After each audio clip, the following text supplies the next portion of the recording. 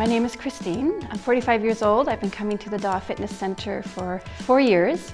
Fitness has a very positive impact on my life. For me, it's about the community. You know, we encourage each other. Yesterday, I lifted 40 pounds over my head and I was like, I've never done that before, but we did it. The main reason I keep coming back here is just the variety. Uh, I can do speed work on the track. 10 minutes later, I could be down in the weight room. If you had the whole day, you could be here from 9 to 6 and you could be doing something different every hour. We enjoy coming to the fitness classes at Deer facilities, mainly for the instruction.